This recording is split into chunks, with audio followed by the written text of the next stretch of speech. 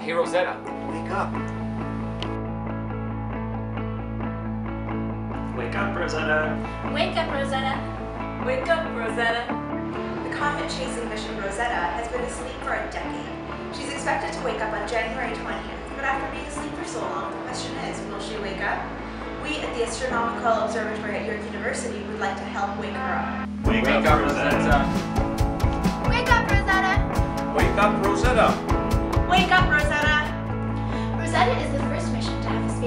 orbit the nucleus of a comet, actually have it land on a comet, and it will be able to give us a good insight into the transformations of the comet as it approaches our sun. Wake up, Rosetta.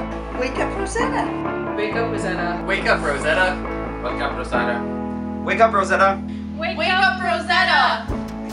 I am the director of the York University Astronomical Observatory. My name is Paul Delaney. I would like to approve this message, and in fact, I would heartily like to say, Wake up, Rosetta, wake up!